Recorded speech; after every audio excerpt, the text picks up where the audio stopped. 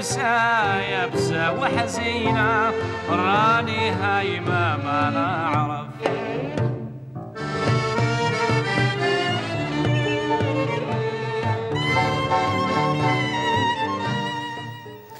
Démon de minuit, bonsoir. On va, on va parler de dissidence ce soir. Euh, le mot convient, me semble-t-il, aux, aux deux invités de, de manière de voir. Le premier est Sotigui euh, Kouyaté. Euh, vous êtes euh, griot. euh, Vous êtes aussi acteur, comédien, metteur en scène. Euh, on va parler de tout cela dans une seconde. Dissidence qui s'applique aussi à Jean-Claude Guibaud, euh, reporter d'idées, hein, grand reporter d'idées après avoir été grand reporter tout court, essayiste, éditeur, romancier. Euh, vous signez aujourd'hui un essai qui s'appelle Le goût de l'avenir, euh, publié au Seuil, une maison d'édition que vous connaissez bien, euh, évidemment. Vous êtes joyeux et vous êtes dans l'espérance. On y viendra dans une seconde, malgré une démocratie qui doute structurellement, dirais-je. hein qui est menacé. Qui est menacée, en tout cas.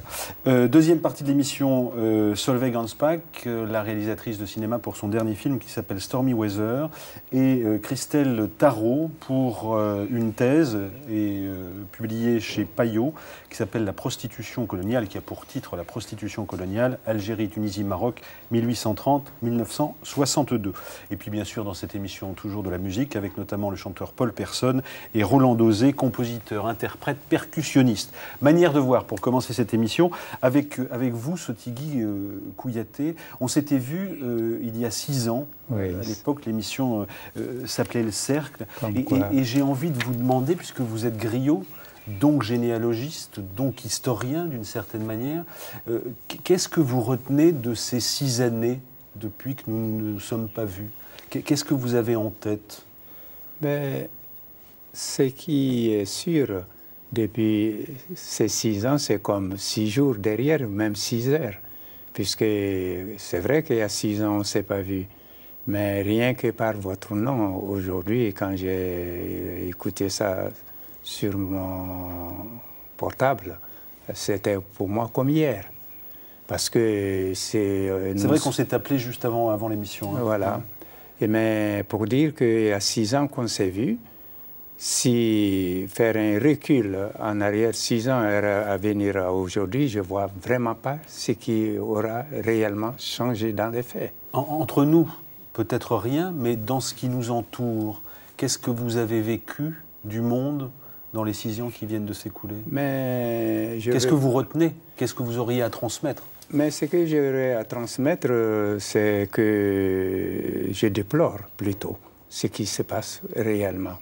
Parce que moi, personnellement, en tant que griot, je ne vois qu'une dégradation de, nos valeurs euh, humaines réelles.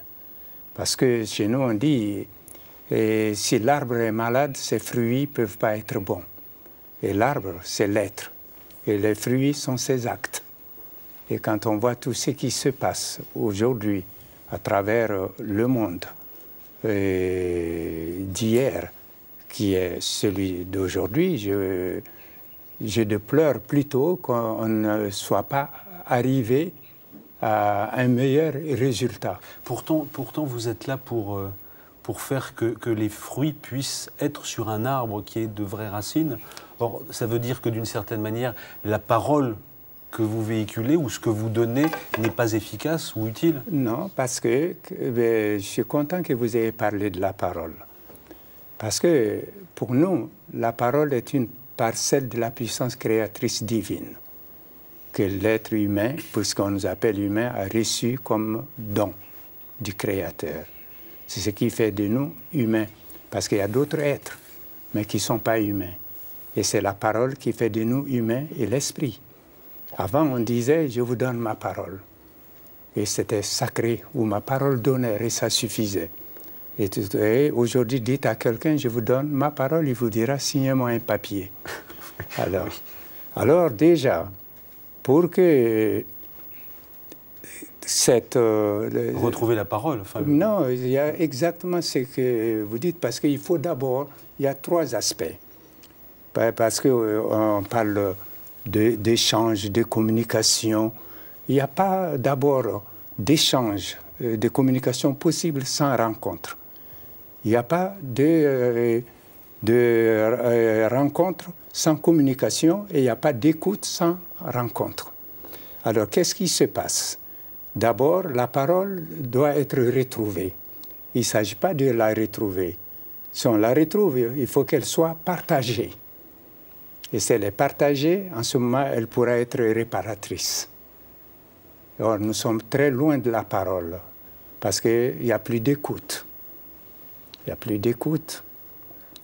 Et déjà, quand je vous parle ou quand vous me parlez, au lieu de vous écouter, je pense d'abord qu'est-ce que je vais dire quand il aura fini? Vous voyez, je le dis. Ah non, non, moi j'ai déjà préparé mes questions. donc- Voilà. C'est ça. Donc, c'est d'abord, je pense que c'est la perte des valeurs humaines qui nous amène à tout cela. Je ne vais pas anticiper puisque j'ai entendu parler d'espoir. Et ça, c'est un thème qui m'intéresse beaucoup. C'est un thème de Jean-Claude Guibault. Oui, absolument. qui m'intéresse beaucoup. Parce que euh, je sais qu'un rabbin, le rabbin Nachman, dans un de ses petits livres qui s'intitule Chaise vide, mis, il est, il ne faut jamais, au grand jamais, désespérer. Et il est interdit d'interdire d'espérer. Et dans la tradition africaine, il y a la même pensée, mais dite autrement. Fatigué, épuisé, j'allais m'écrouler pour ne plus jamais me relever. Alors, à ce moment précis, pour ne pas perdre la face, j'ai vu un grand mur, j'ai fait un effort pour m'adosser à ces murs, mais le mur s'écroula. À cet instant précis, un gros arbre se dressa. Je me suis accroché à cet arbre, il se cassa aussi. Mais à cet instant précis, un homme robuste venait à passer et je me suis accroché à cet homme, il s'est écroulé aussi. J'allais tomber définitivement quand l'espoir se présenta, il m'a tendu la main et il m'a soutenu. Ça veut dire qu'il faut tout perdre sauf l'espoir. Alors, une question sur, euh, sur la manière dont. on- là, on était euh, presque à l'écoute du griot. hein, et, dans la leçon, il n'y a, qu'une leçon à recevoir de ce que vous venez de dire. Comment est-ce que vous faites euh, quand vous êtes metteur en scène, quand vous êtes comédien, quand vous êtes acteur Comment est-ce que vous faites pour être pour rester griot, puisque vous êtes né griot, vous êtes griot de père en fils.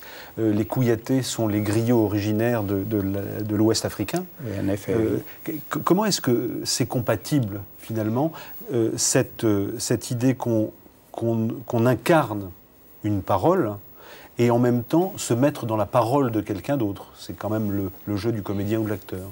Mais oui, mais je pense tout simplement une petite anecdote. Quand je viens de faire une mise en scène, enfin, je ne parle pas du pont qui se passe actuellement aux Amandiers, mais avant Qui ça, passé un peu, voilà, j'ai fait Édipe avec euh, 19 comédiens venus d'un peu partout, du Mali, du Burkina, de la Grèce, de la Tunisie, et de la Guadeloupe, de la France, de la Suisse, d'Italie. Parce que d'abord, pour nous, je pense, euh, quand je dis nous, je parle de l'Afrique. Et quand je parle de l'Afrique, l'Afrique est énorme, elle est vaste, mais je parle de l'Afrique de l'Ouest, l'ancien empire mandingue. C'est dans- nous pensons que c'est dans les différences qu'on trouve les voies de la complémentarité. Et donc, au moment de faire cette mise en scène, bien sûr, pour avoir les subventions, les, les aides, il faut faire une note d'intention de, mise en scène. J'ai dit que je ne suis pas doué pour le faire. Parce que pour moi, je pense qu'une mise en scène, c'est un accouchement. Et euh, je désire, je sais, je veux un enfant, je le veux beau. Mais c'est vrai, je peux dessiner, je peux imaginer tout ce que je veux de l'enfant. Bon, ça c'est mon imagination et tout, mais quand l'enfant va sortir, il peut sortir comme je le désire, mais il peut sortir euh, autrement. Et on dit que même si votre enfant, s'il euh, il devient un serpent, on en fait une ceinture pour attacher à sa taille. Donc euh, j'ai dit, je ne peux pas parce que c'est avec des êtres humains que je travaille. Je travaille avec des personnes et ces personnes, je dois pouvoir être à leur écoute, qu'ils vont m'apporter. Mais alors comment faites-vous quand, quand une administration vous demande un acte? Mais j'ai jamais pu, j'ai tout le temps dit ça, ou on m'accorde ou on m'accorde pas. Ça, je, euh, vous prenez ma note d'intention de mise Il en faut scène. vous croire sur parole. Voilà, c'est ça, parce que la parole est sacrée pour moi. Il y a, il y a- il y a quelques semaines, euh, vous avez monté aux Amandiers euh, à Nanterre le pont, texte de Laurent Van Vetter, mise en scène de Sotigou Kouyaté avec Hassan Kouyaté et Habib Dembélé. Hassan Kouyaté, c'est votre fils, l'un Oui. l'un de vos dix enfants. Oui, hein. oui, Bon, absolument, euh, mon petit village. Celui qui n'a pas servi de Euh, ceinture, puisqu'il voilà. est- il, Euh, fait, il fait lui aussi le. euh, euh, ce- vous avez dit celui de mon petit village, Oui. parce qu'il y a des enfants ailleurs. Euh, voilà, non, non, j'ai dit euh, de, de, de, mon- de mon petit village, puisque mes en- dix enfants, c'est un petit village. Voilà, Bien, bien Euh, précisé. ouais. Notion de famille. euh, voilà, et c'est important. On, on regarde un extrait de cette, de, de- de cette pièce et, et on continuera sur ce que vous venez de dire, hein, Ouais. sur, euh, sur cette, euh, ce cosmopolitisme Ouais. euh, de, de la troupe de théâtre. Extrait. Oubliez nos amours perdus, tout ce temps passé, où sans toi j'ai vécu. Priscilla, oh, Ça suffit Je vous promets mon poing sur la gueule, ouais. bon, ça va. Ça va, vous fâchez pas. Vous ne seriez pas un peu... hein? Euh, pas du tout, Vous en êtes sûr? Évidemment. Parfois, on n'en est pas conscient jusqu'au jour où... euh, Écoutez, même si j'étais homosexuel, un type sur Terre ne risquerait rien. Alors là, absolument rien. Ah bon C'est pas ce que j'ai cru sentir. Alors ça, c'est bas. Vraiment bas. Pas si bas que ça Tout ça parce que j'ai eu une petite émotion. Appelez ça comme vous voulez. Je vais mourir, moi. J'avais besoin d'un peu de chaleur. C'est ce qu'on dit. Pissot Pacifiste. Quand on a le canon qui pendouille entre les, les, les chenilles. Attention, hein Votre femme. Je comprends qu'elle se soit tapé le premier mec venu du moment. Salaud Attention, n'approchez pas, c'était Mont Blanc. Et ça, c'est un revolver. Alors c'est- une pièce qui, met en scène euh, deux candidats au suicide. Et dans le jeu de la parole, chacun va retenir l'autre et on s'apercevra à la fin que euh, le candidat au suicide n'était pas forcément celui qu'on pense et, et vice-versa. Euh, c'est un texte d'un Belge. Oui, oui. Hein Euh, J'ai une question à vous poser tout à l'heure. Vous, vous parliez de, bien de ce cosmopolitisme, euh, finalement, de tous ces acteurs qui peuvent jouer n'importe quel texte, y compris les Africains. Récemment, euh, au même théâtre des Amandiers à, à Nanterre, Jean-Louis Martinelli a mis en scène une Médée de Max Rouquette, avec une troupe du Burkina Faso. Oui, oui. Et euh, certains ont pu dire que c'était audacieux de, de- de mettre, un- euh, de mettre Médée euh, euh, en scène avec une troupe du Burkina Faso, comme s'il y avait une couleur Mais à je- une écriture, mais je vais- correspondant à une écriture. Oui, je- Ça vous rend triste ce, ce- Mais ça de pareilles réflexions, moi, ça me rend triste. Je vais expliquer. Quand j'ai monté Antigone en 98 et en 99, euh, 98 à Aubervilliers, euh, au Centre national dramatique d'Aubervilliers, en 99 au Bouffe du Nord, et certains journaux ont dit Antigone euh, visitée par l'Afrique ou euh, Antigone africaine. J'ai eu à dire aux, jour- aux journalistes il n'y a pas une Antigone rouge, ni noire, ni blanche, ni jaune. Vous avez eu à dire. hein, Ah oui, j'ai eu à dire. J'ai eu à dire cela. Il y a, une, il y a Antigone. Il y a un problème de masculin-féminin qui est aussi vieux que le monde, que- qui est la terre et le ciel. Alors, et la même histoire s'est produite euh, il y a quelques années quand j'étais avec M. Brooke en Inde. Le, Mahabharata, c'était après la réalisation du euh, film euh, Mahabharata, puisque la pièce de théâtre n'a pas pu aller en Inde. Nous sommes allés au, au festival euh, de l'Inde, il y avait Jean-Claude Carrière, et son Excellence, je l'appelle ainsi, et Peter Brook. Et vous et- dites même Monsieur Peter Brook parfois. euh, Oui, M. Peter Brook, bien sûr, et, et aussi euh, euh, Maurice Bénichou. Alors, on a eu des rencontres avec des, avec des philosophes indiens, ind- indiens hindous de l'Inde. Alors, euh, souvent, ça- il y a un des philosophes qui a eu à dire pourquoi Brooke a fait jouer des Noirs dans le Mahabharata. Alors, euh, euh, M. Benichou a voulu répondre, tellement il était en colère qu'il n'a pas pu. Et M. Brook m'a demandé de répondre.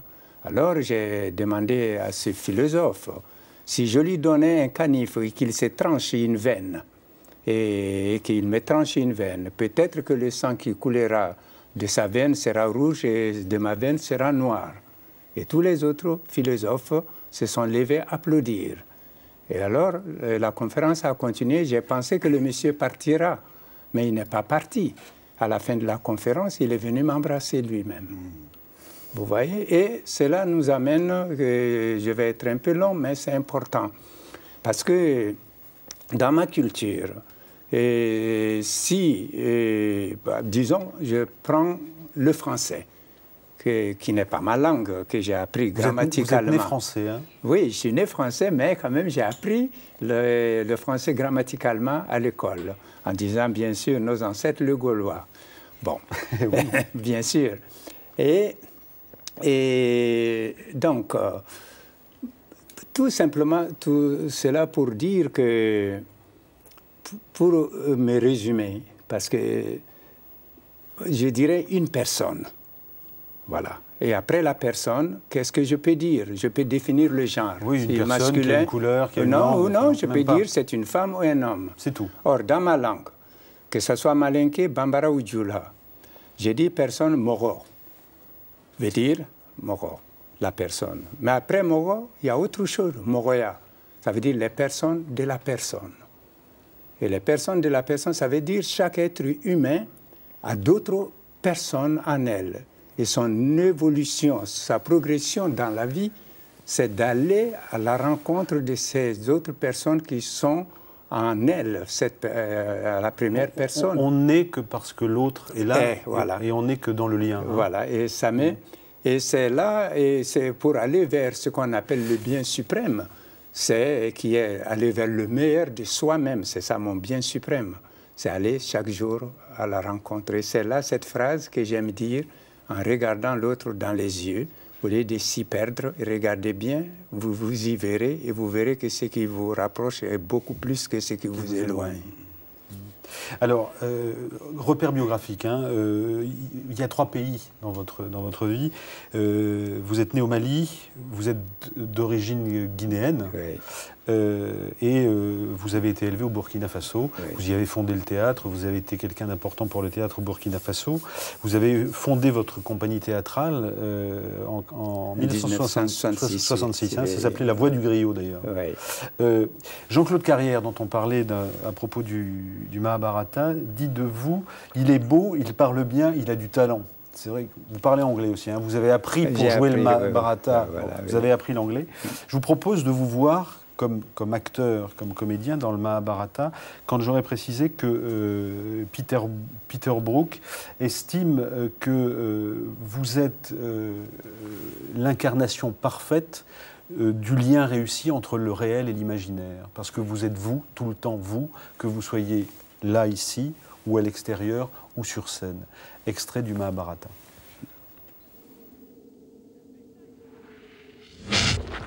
The precise arrow that killed Smith Sikandin is not yours. You didn't shoot it. It enters my flesh like a snake.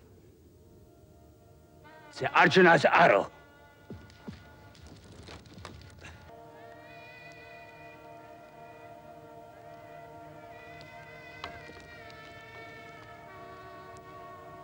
Arjuna, give me the pillow I need.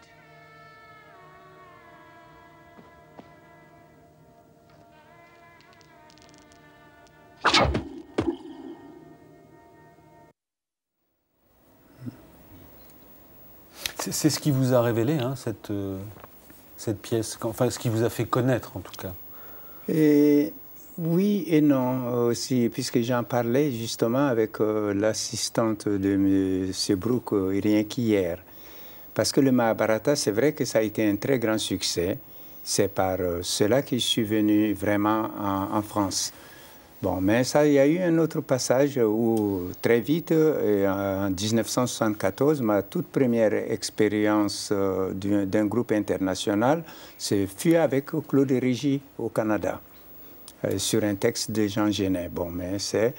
Mais le Mahabharata, euh, bien sûr que je dois beaucoup au Mahabharata, mais le Mahabharata a beaucoup tourné et en dehors de la France. Ça a fait 12 mois de tournée mondiale. Donc, euh, j'étais pratiquement pas connu du tout en France. D'où, à la fin euh, du Mahabharata, ça a été une très grande souffrance pour moi. J'ai connu pour la première fois le chômage dans ma vie. Alors, Euh, à, à- à cette- à propos de cette époque, euh, vous, vous dites euh, que euh, personne ne le savait en Afrique et que vous vous êtes endetté ah oui, hein, aussi pour euh, envoyer le, le- le pécule oui. euh, à, à vos, à vos parents. Oui, et Marie-Hélène Destienne, l'assistante de Brooke, même hier, elle me le reprochait. Puisqu'elle dit, elle Vous me reprochait que je ne leur ai pas dit, Dit. ça. J'ai dit oui, ben, et j'ai un oncle, Sedou Bandian Kouyaté, dans un de ses écrits, c'est la mort de Chaka Zulu, le héros des Zoulous, il a dit qu'il aime la viande, mais toute viande qu'il faut manger tête basse, il dit non à cela. Donc, dans ma souffrance, j'ai voulu me battre avec dignité. Il ne faut pas être orgueilleux ni prétentieux, mais il faut être fier de ce qu'on est. Et il y a dans la vie ce qu'on doit, ce qu'on veut et ce qu'on peut. Alors ju- justement, à propos, de la, fierté et, parfois des paradoxes euh, que l'on peut, rencontrer au-delà de ce monde qui, euh, qui, qui explose, euh, je voudrais vous montrer un extrait de Little Sénégal. Little Sénégal, c'est un film dans lequel vous jouez le, le- le personnage d'Aloun. Aloun, c'est un, vieux monsieur qui décide d'aller en Amérique voir ce que sont devenus euh, ses frères ou ses, ou ses ancêtres. Hein. Je- vous- vous- on ne va pas vous voir dans le film, euh, dans l'extrait qu'on diffuse du film de, de Rachid Bouchared. Euh, simplement, on, on va montrer une scène qui illustre l'un des propos du film. Regardez.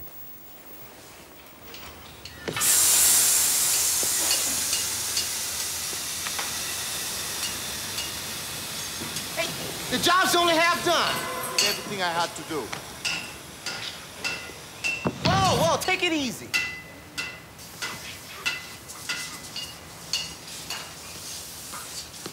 Take your hand off my car, you big ape. What, you got a problem? Fucking African. What's going on here, Hassan? Guy's doing all this just to avoid paying. If he doesn't pay, he doesn't move. Look, just calm down, okay? Hey, Hey, you pull your jaws down now. You see a tail back there? Yamoudi, Hassan! Hassan! Hassan! Dans, dans- dans cet extrait, on, on est euh, face à un, un- un racisme entre pauvres et riches. Et, euh, ce que découvre Aloun euh, en, Amérique, c'est que finalement, les, Afro-Américains ne, supportent- pas les Africans. Donc, euh, dont ils supposent que, que leur père, enfin que, ces Africains ont vendu leur père en esclavage. Oui, et il y a plusieurs aspects. Il y a cet aspect qui est cette haine, vraiment... euh, Entre hommes, entre personnes. euh, voilà, entre personnes. Parce qu'ils rendent euh, les, les Noirs responsables. Mais il y a autre chose aussi, c'est les Afro-Américains qui se sont battus, et, et même d'où un peu leur violence, parce qu'ils ont dû, pour se faire entendre, ils, ils sont passés par la violence, au moins pour qu'il y ait un regard sur eux. Et c'est pas fini. Hein. Voilà. Donc, euh, en même temps, on les, on les accepte, mais ils ne sont pas intégrés en réalité. Ils sont acceptés parce qu'on les utilise, on se sert d'eux. Et bon. Alors, ils, maintenant, ils en sont très conscients. Il y a beaucoup, ceux qui, ont, ceux qui en ont eu la, la capacité et les moyens, sont allés vers l'Afrique à la recherche de leurs origines, mais très peu. Mais, et donc, ils savent qu'ils ne sont pas américains, et ils se voient aussi, ils savent qu'ils ils sont noirs, mais... Donc écartelés. Et voilà. Donc, euh, ils sont entre, comme on dit, les fesses entre deux chaises. En voyant les Noirs euh, venant d'Afrique, c'est comme leur mi- miroir. Ben, c'est qu'ils ne peuvent plus être. Et Bon. c'est insupportable. C'est insupportable. Il y a trois choses, facteurs. Et encore, ces Noirs qui viennent, qui sont euh, utilisés et employés au noir leur enlèvent les- tout ce qu'ils ont comme job, les privilèges qu'ils ont, et reviennent à ces noirs qui sont payés au noir. Donc euh, il y a Conflit. il y a conflit. Toute dernière question, Sotigui Kouyaté. Vous, vous, vous- vous- vous dites que vous avez reçu de vos ancêtres euh, des petits dons Oui, et, et- et, euh, vous soignez. oui. Euh, or, la médecine, enfin, la médecine classique à l'occidentale, donc euh, dans votre médecine traditionnelle, euh, comment est-ce qu'on se sent euh, incarné en griot et comment on se sent incarné euh, en, en- en médecin? Je vais dire une anecdote dont M. Brook en a parlé dans un livre et dont Son Excellence M. Jean-Claude Carrière, lors d'une de vos émissions, pourra en parler s'il veut bien. Nous nous trouvions en 98 euh, à Perth avec le Mahabharata. Et c'était la période du concours, de l'organisation du concours mondial des voiliers, donc une période de grand vent. Et ils ont choisi ce moment pour jouer le Mahabharata en plein air dans une carrière. Donc tous les décors s'envolaient. Alors, euh, c'était pas possible. Or, c'était une grande organisation, le spectacle était compromis. Alors, euh, pour me résumer, alors euh, Broco et moi, nous, nous, nous avons parlé. Alors, il m'a demandé Peux-tu faire quelque chose? "Ne- qu'est-ce qu'on peut faire? J'ai dit à Peter, nous ne pouvons, on ne peut rien contre la nature. Tout ce qu'on peut, on peut négocier avec la nature par des prières. Et il m'a dit donc, priez. Alors, et il le dit dans un livre en anglais, qui est, est édité en anglais à, Londres. Il raconte cette histoire.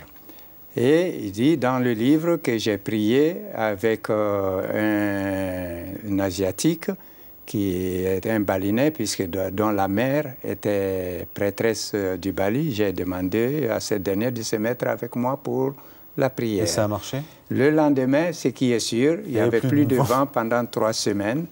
Alors, je ne sais pas qu'est-ce qui est devenu le concours de, de voiliers, mais le Mahabharata a été joué.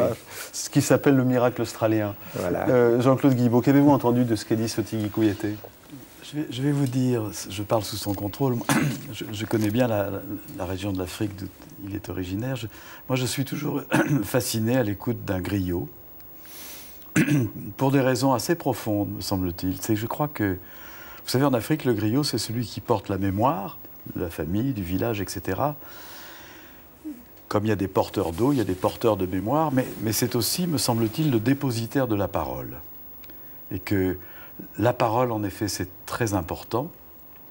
Et que nous, dans nos sociétés, c'est pour ça que je pense que nous avons à apprendre de ce type de discours et de, de ce type de présence. Je pense qu'on est dans des sociétés où la parole est profanée, où la parole est humiliée. J'avais publié il y a une quinzaine d'années un livre de, du grand théologien protestant Jacques Ellul, qui fut mon professeur, qui s'appelait La parole humiliée. C'est-à-dire que nous sommes dans des, dans des sociétés qui insensiblement dégradent la parole en bavardage, ou la dégradent en slogan, et qui se rendent compte confusément, parce qu'elles le devinent, que toutes les barbaries, tous les totalitarismes, toutes les menaces qui pèsent sur nos sociétés se sont toujours attaqués d'abord à la parole. C'est un enjeu considérable, la parole, vous savez, parce que la parole est originelle. Enfin, je ne veux pas vous réciter la Bible, au début était le verbe, mais la parole est quelque chose qui, a un rapport avec la source de tout, de la vie. Vous savez, assez curieusement, d'ailleurs, les, les généticiens d'aujourd'hui sont en train de découvrir que une des choses essentielles qui nous constituent, les gènes, le génome, ce qui nous constitue dans les gènes, ce n'est pas la substance, ce ne sont pas les protéines, c'est l'agencement des molécules, c'est-à-dire c'est le langage. C'est le message. Autrement dit, nous sommes, nous sommes en train de comprendre que nous sommes constitués par de l'immatériel et que cet immatériel, c'est de la parole. Alors, vous savez, c'est très, grave la parole et c'est très important. Et je pense en effet que voilà un, un personnage comme mon voisin, je suis vraiment euh, heureux d'écouter cela parce qu'il est un rappel pour nous, quoi. Faites attention à la parole. Ne, ne dégradez pas la parole. Ne profanez pas la parole. Ne la transformez pas soit en bavardage, soit en slogan, soit en mensonge. L'idée de tenir parole. Quand il dit, moi, les, civilisations orales ont quelque chose à nous rappeler, c'est-à-dire que tenir parole, c'est important, et que la parole engage. Et nous avons tendance, nous, dans des sociétés, À faire signer. non seulement à faire signer, mais à ne plus accorder la moindre importance à la parole, tenir parole. Quel est l'homme politique qui tient encore parole aujourd'hui? On continue dans une seconde. On va écouter euh, la de la musique avec Paul Personne. Et, et Paul Personne qui aime bien prendre du temps et prendre du silence. On parle de parole il y a une seconde. Il dit, que, il dit notamment que le, le silence fait partie de la Ah bah, musique. évidemment. Bon. Et il fait partie de la parole. Voilà. Et euh, il, il ajoute J'ai toujours pensé qu'une bonne chanson, c'est mieux qu'un solo de guitare. Euh, Aujourd'hui, on le retrouve. Il a toujours en, en pleine maturation, euh, timbre éraillé, euh, des harmoniques euh, très moelleuses. Vous allez en, en- pouvoir le constater dans une seconde avec un premier extrait de son dernier album qui s'appelle Demain. On écoute La foire à la brocante.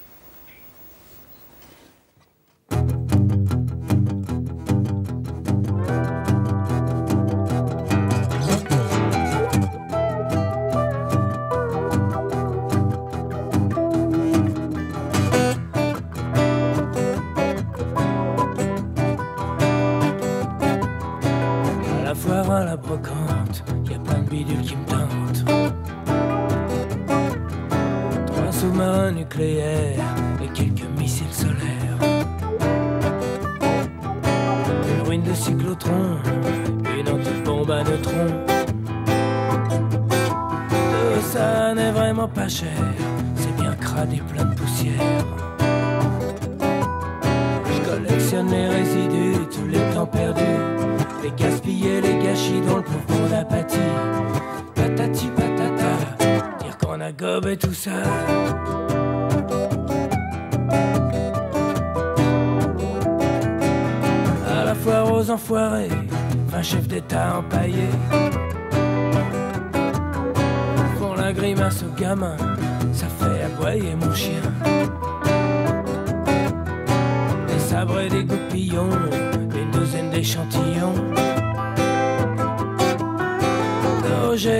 je les aime, bouffés par les charançons.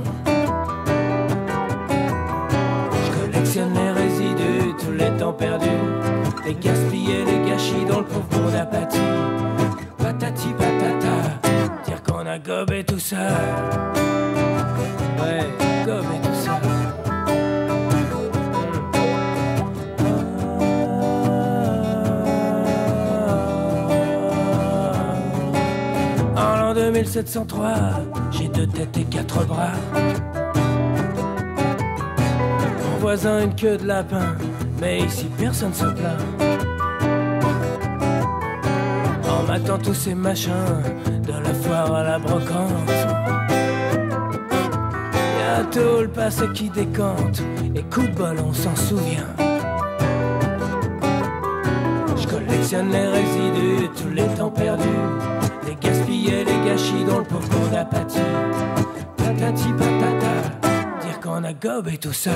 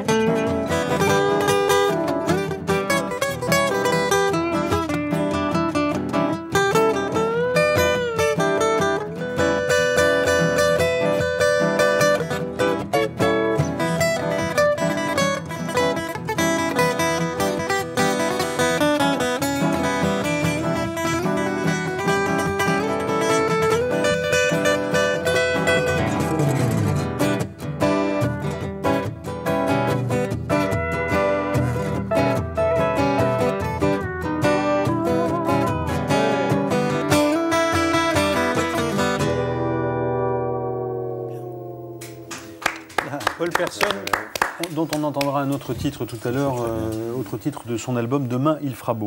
Euh, Jean-Claude Guibault, euh, pour, pour vous définir aujourd'hui, j'ai envie de, de vous plagier, ou plus- plutôt de, de- de reprendre une citation de votre, votre livre.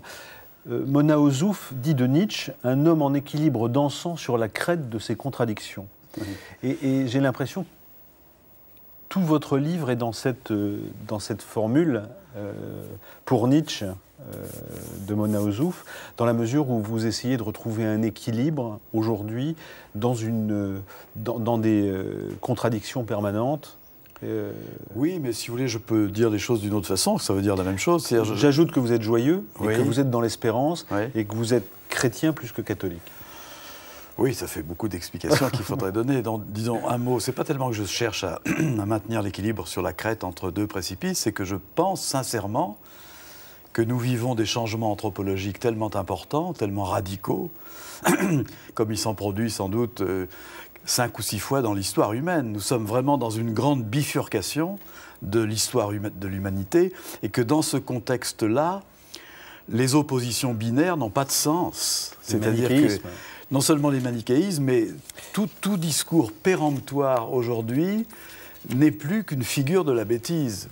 Et pourtant, Dieu sait si les discours péremptoires prolifèrent, mais je pense que face à l'énigme assez passionnante de ce monde nouveau dans lequel nous sommes déjà entrés sans le savoir et qui nous inquiète parce qu'on a du mal à le comprendre, c'est vrai que la tentation est grande de perpétuer les anciens pugilats parce que ça nous fait croire que le vieux monde continue. Vous comprenez ce que je veux dire? Quand, Prenez un exemple simple, quand il s'agit de réfléchir sur le- la façon de vivre ensemble, en- entre hommes et femmes, ou entre la manière de réguler nos sociétés, de partager des valeurs, croire qu'il s'agit toujours, comme hier, d'opposer, disons, les puritains aux libertins, ou d'organiser un débat télévisé entre. Philippe Solers et Christine Boutin, c'est croire le que que, le... vous allumiez, hein, Philippe Solers. C'est croire que le vieux monde continue, parce qu'évidemment, le problème ne se pose plus comme cela. Alors j'ai pris que cet exemple caricatural. Donc il ne s'agit pas de danser entre deux précipices. libertin il s'agit de refuser les manichéismes qui nous empêchent de penser ou qui nous dispensent de penser. On va y venir dans une seconde, mais dans, dans, euh, vous êtes, euh, alors repère biographique comme pour Sotigui Kouyaté,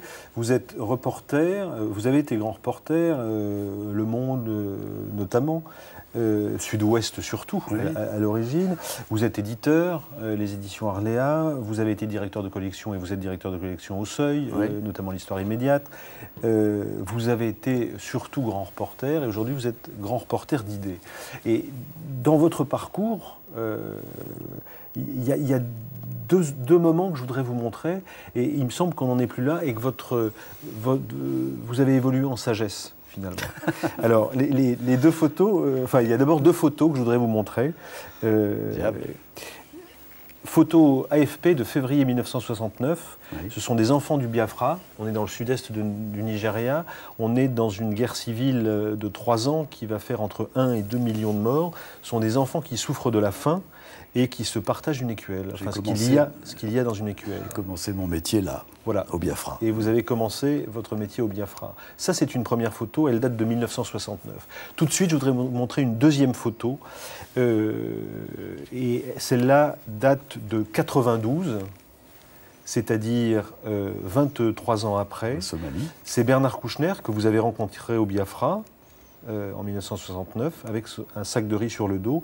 On est en Somalie, on est au nord de Mogadiscio et le ministre de la Santé et de l'Action humanitaire français de l'époque porte sous l'œil des caméras un sac de riz pour les populations menacées par la famine. En- entre ces deux photos, euh, d'abord elle vous implique directement parce que vous avez été reporter pour Sud-Ouest au, Biafra. J'ai commencé à être journaliste en effet au Biafra immédiatement après mai 68. En fait, c'était à l'automne 68.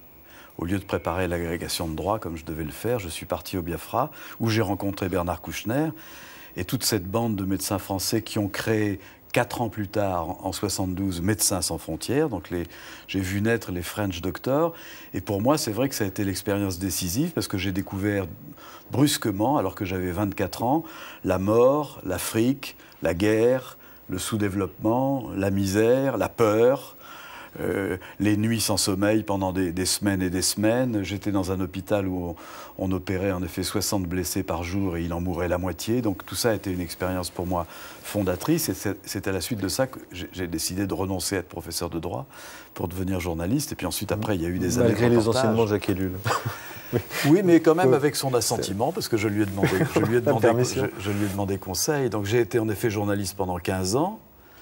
Et puis c'est vrai qu'aussi, c'est peut-être en pensant à Jacques Ellul que volontairement, très volontairement, au début des années 80, alors que j'étais grand reporter au Monde et que j'étais tout heureux de faire ce travail, j'ai décidé volontairement d'arrêter de faire, ce, de faire ce métier. Et de devenir éditeur. Et de devenir éditeur. Pour, et quand, Jacques Fauvet, directeur du Monde, m'a demandé pourquoi, je lui dis parce que j'ai besoin de réfléchir. Alors il a cru que c'était une réponse. Et croiser des idées, hein.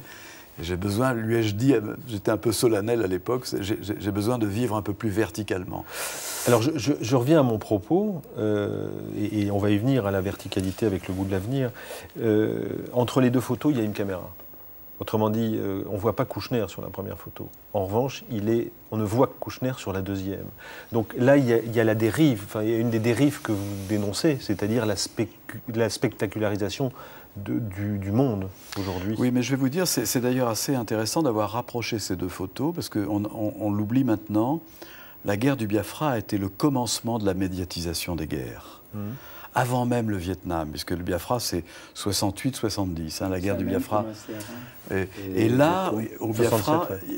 il- c'est- je veux dire que c'est la première fois qu'un qu'un pouvoir, en, réalité le pouvoir biafrais du colonel Ojukwu, du président Ojukwu, s'est servi délibérément des médias comme d'une arme de guerre et comme d'une arme de propagande. Mais après, tout le monde, tout, tout le monde les a pris. Et la France, qui a joué un jeu assez compliqué au Biafra, un jeu humanitaro-politique, mais en fait qui avait des dessins aussi, a volontairement joué sur la médiatisation. Ce qui fait que nous, journalistes, nous nous sommes trouvés déjà, malgré nous, Pris- embringués, pris dans le spectacle. embringués dans le spectacle. Et je me souviens qu'à l'époque, j'avais fait un article, j'ai écrit beaucoup d'articles, mais dans Combat, j'avais écrit un article au retour du Biafra dans le journal euh, Combat qui paraissait à, l'époque encore, qui s'appelait Les nocifs paradoxes du spectacle de la charité. On avait, et au fond, toute la problématique euh, de l'humanitaire devenant spectacle était déjà née au Biafra à ce et elle moment-là. s'incarne 20 23 ans plus tard euh, Et, dans ça une n'a autre photo. ça n'a cessé de s'amplifier, évidemment. hein. Alors, euh, sur votre parcours,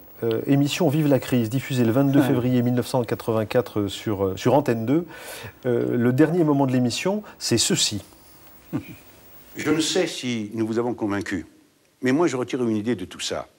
C'est que finalement, tout ce qu'on peut dire ou tout ce qu'on peut faire, en définitive, c'est vous, et vous seul, qui trouverez la solution. Il n'y a pas de sauveur suprême, il n'y a pas de super caïd, il n'y a pas de superman. C'est vous, prenez-vous par la main, sachez ce que vous voulez, demandez-le, voyons ce qu'on peut faire et avancez. Alors, ou on aura la crise, ou on sortira de la crise, et dans les deux cas, on aura ce qu'on mérite. Voilà, excusez-moi d'être un peu comme ça, mais on arrive à la fin. Bonsoir et à bientôt. Jean-Claude Guibaud, euh, ça c'est le Guibaud de la télévision qui aussi enfin, met, met en spectacle ce- Oui, mais son intention. Si vous voulez vivre la crise, ça a été évidemment un événement que je, je ne renie pas, loin de là, mais ça a été un- une chose un peu particulière. Ça a été un, un Faire de mon temps un présentateur de télé. Il se trouve que j'étais l'éditeur d'un livre de Michel Albert, qui, qui venait de quitter le commissariat au plan, qui s'appelait Le Paris français, et qui était une pédagogie de la crise. Que j'avais, j'en avais parlé à Pascal Brognaud à l'époque, qui avait envie d'adapter ce livre pour en faire une grande soirée pédagogique. D'autant que les socialistes n'étaient pas vraiment penchés euh, sur, la le- question. sur l'économie. ouais. Et il se trouve que par ailleurs, au Seuil, comme j'étais l'éditeur de Simone Signoret, j'avais des liens d'amitié. bien j'avais des liens d'amitié avec Yves Montand depuis très longtemps, évidemment. Et donc, j'ai accepté d'être le producteur de cette émission. On a bâti un scénario très compliqué avec Roland Portiche, qui est venu s'installer chez moi à la campagne pour écrire un scénario pendant des semaines. On a tourné que, est-ce que l'émission. que vous la referiez aujourd'hui avec Montand Parce que mon propos, en, vous montrant ceci, c'est de dire que finalement, cette utilisation de l'artiste dans, dans une émission de télévision, aujourd'hui, j'ai l'impression que vous ne le feriez plus. Je crois que si. Je- je- franchement, je le crois que si, parce que mon temps avait été très bon. Ce, ce que je discuterai davantage, c'est le fond du discours de Vive la crise. C'est-à-dire Oui, qu'au fond, c'était un, discours néolibéral euh, de- avec lequel j'ai pris mes distances. Enfin, c'était celui de Michel Albert, c'était pas le mien. Moi, je Mhm. n'étais que l'adaptateur. Alors, avec le fond de Vive la crise, je prendrais de, de sérieuses distances. Mais Yves Montand, vous savez, d'abord, Yves Montand n'a pas improvisé. Il a dit un texte que Donc, nous avions écrit Oui, oui, mais Euh, utiliser un acte. Et au fond, il- euh, je me souviens, on peut tout raconter d'ailleurs, en fait, on est libre. Je me souviens qu'à l'époque, nous avions le choix. Pascal Brogniot avait deux autres idées, qui étaient soit Bernard Pivot, qui avait hésité et qui n'était pas sûr d'avoir envie de dire oui, parce qu'il disait l'économie, c'est pas mon truc, soit Philippe Labro qui aurait été sûrement bien, mais plus classique. Comme, euh, et c'est au cours d'un dîner que j'ai un petit peu, par provocation, euh, proposé mon temps. Non, je pense que ça, il a joué un rôle et, et il a fait son travail avec méticulosité. Il a appris son texte, il a, Oui, mais, il a demandé. mais en même temps, est-ce qu'aujourd'hui, est-ce qu'aujourd'hui, on peut encore, euh, est-ce que finalement ça, ça, ça n'entre pas dans un dans un discours qui devient inaudible tellement Non, il y a de discours. Honnêtement, là, sur, la, sur la forme, je ne renie rien. Vous savez, faire, faire à demande pas de 20h30, renier, hein. non, mais faire à 20h30 Je une vous émission, plus sage aujourd'hui. une émission de pédagogie économique pendant deux heures, qui commence à une heure de grande écoute, est-ce qu'une chaîne de télévision serait capable de faire ça maintenant? Parce que cette France 2, émission, oui, bien sûr. cette émission avait, il y avait quantité d'intervenants, il y avait des économistes, il y avait des, oui, à une heure du matin, mais sûrement pas à 20h30. Bon, puis Bon, voilà, soyons sérieux. Enfin, c'était- être le moment où je quittais le journalisme. plus sérieux, mais alors ça, c'est- mon point de vue. Je vous sens plus, peut-être moins dans, euh, Bien sûr. dans cette mise en forme. Là, vous êtes profond. Euh, dans ce nouvel essai, il y en a, beaucoup d'autres avant et des romans également qui s'appellent Le goût de l'avenir, publié au Seuil, notre maison d'édition. Euh, et euh, euh, Le goût de l'avenir, c'est l'envie de rebâtir une espérance pour une société démocratique. Mais vous commencez votre livre avec cette idée que le mal, aujourd'hui, n'est plus dit. Vous écrivez par exemple, oublieux de la question du mal, nous avons dans le même temps extériorisé la représentation de celui-ci avec une complaisance appuyée. Du mal en somme, nous avons fait un spectacle. Le sempiternel débat sur la violence extrême et la barbarie qui habite le cinéma, la littérature, les nouveaux jeux vidéo, la télévision est l'expression maladroite d'une insoluble contradiction. Tout se passe comme si la mise en scène du mal, sous toutes ses formes et de toutes les manières, exprimait une fascination inavouée, un manque, une absence, quelque chose comme une sidération voluptueuse. Nous avons peut-être renoncé à penser le mal, mais nous ne l'avons jamais autant contemplé. Il y a là une aporie, c'est-à-dire une difficulté d'ordre rationnel paraissant sans issue. C'est un propos que vous tenez après le 11 septembre. Tout à fait, mais c'est, comment vous dites expliquer Je pense que chacun peut constater, c'est une évidence que le 11 septembre, mais d'autres choses comme le Rwanda, par exemple, euh, l'épouvante du Rwanda, euh, l'actualité des, disons, des cinq ou six dernières années euh, nous a rappelé que le mal existait, que le mal était une catégorie ontologique. Or, il me semble que ça fait au moins 20 ou 30 ans que nous avions cessé de réfléchir au mal. La pensée utilitariste moderne, celle qui se préoccupe de croissance, de bourse, de flux financiers, ou même de régulation euh, politique, de procédures politiques, finalement avait expulsé du champ de la réflexion d'abord la philosophie morale, qui n'avait pratiquement plus de droit de citer, euh, qui avait été remplacée par la philosophie analytique, on pourrait, euh, on pourrait épiloguer longtemps, mais donc, et naturellement la théologie qui n'intéressait plus personne, tout s'est passé comme si pendant 20 ou 30 ans nous avions cessé de réfléchir au mal, à l'énigme du mal et au défi que, que la question du mal nous, nous, nous- pose. Et en effet, plutôt que de réfléchir au mal, nous avons pris l'habitude de le montrer complaisamment, d'en faire un spectacle, qui était une façon de le mettre à distance, de le représenter comme ça, euh, la mode des serial killers. Regardez la façon dont il y a eu une escalade comme ça dans la représentation théâtrale ou cinémato- cinématographique du mal. Moi, j'y ai vu au fond la conséquence d'un arrêt de la pensée, de la réflexion. Et là, tout d'un coup, le 11 septembre, Le terrorisme, le ressaisissement, nos sociétés qui se sentent fragiles, comme nous ne savons plus réfléchir au mal, alors nous sommes tentés d'opposer au mal un manichéisme sommaire. Ce qu'a fait le président Bush en, en janvier. Je, je suis le bien. En janvier, de- voilà, c'est-à-dire de se dire au fond, euh, voilà le mal qui m'est extérieur et moi j'incarne le bien, soit en tant que personne, soit en tant que nation. Ce qui, ce qui veut dire que de ce point de vue-là et dans cette facilité-là, Ben Laden est un bouc émissaire. Non seulement, c'est pas tellement qu'il est un bouc émissaire, si vous voulez, mais à partir du moment où vous, montrant le mal, où vous, quand je dis vous, ça peut être une nation ou un homme, à partir du moment où vous vous désignez comme le bien, vous entrez vous-même dans le jeu de la barbarie. Vous vous mettez en miroir par rapport à elle. C'est-à-dire, vous faites du bien, entre guillemets, que vous prétendez incarner, le jumeau renversé du mal que vous voulez combattre. Et du coup. Et donc rien n'est possible. Et- et rien n'est possi- entente, hein, rien- non seulement rien n'est possible, mais euh, vous, en- vous entrez dans un jeu de rivalité mimétique où finalement le bien et le mal tout- deviennent tous les deux deux figures du mal. Et regardez ce qui s'est passé dans cette équipée guerrière de l'Amérique en Irak.